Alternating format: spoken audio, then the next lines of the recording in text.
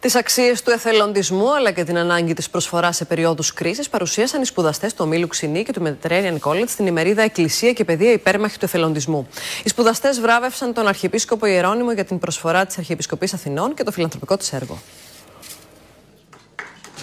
Στο πρόσωπο του Αρχιεπισκόπου Ιερώνυμου, οι σπουδαστές του εκπαιδευτικού ομίλου Ξινή βράβευσαν την Αρχιεπισκοπή Αθηνών για το φιλανθρωπικό της έργο. Οι τομείς κοινωνικών επιστημών του ΙΕ Ξινή και του Mediterranean College παρουσίασαν άλλωστε στο πλαίσιο της ημερίδας Εκκλησία και Παιδεία Υπέρμαχη του Εθελοντισμού τα αποτελέσματα της έρευνάς τους για τον εθελοντισμό των νέων. Ο εκπαιδευτικός όμιλος Ξινή έμπρακτα στηρίζει το θεσμό του εθελοντισμού με την απόλυτη συμμετοχή των σπουδαστών του που το αποδεικνύουν και σήμερα στις κοινωνικές και πολιτιστικές δραστηριότητες μας είτε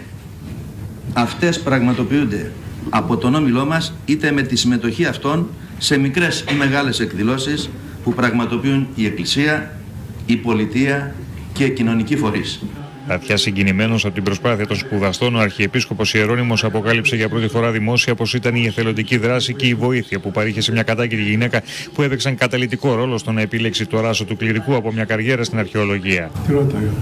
τι θέλεις κύριε Σουσανιό, δεν θέλω τίποτα, να μου κουρδίσεις το ρολόι, γιατί αυτό είναι η παρηγοριά μου. Όλη τη νύχτα θέλω να τα ακούω να χτυπάει άρρηκτα συνδεδεμένος με τον ανθρωπισμό, ο εθελοντισμός, ειδικά σε περιόδους κρίσεων όπως αυτή που διανύει η χώρα, εκτός από το ότι ενισχύει τις κοινωνικές δομές, όπως τόνισαν οι σπουδαστές του ομίλου Ξινή, προσφέρει στον ίδιο τον εθελοντή το μοναδικό όφελος ενός νέου περιεχομένου στη ζωή του.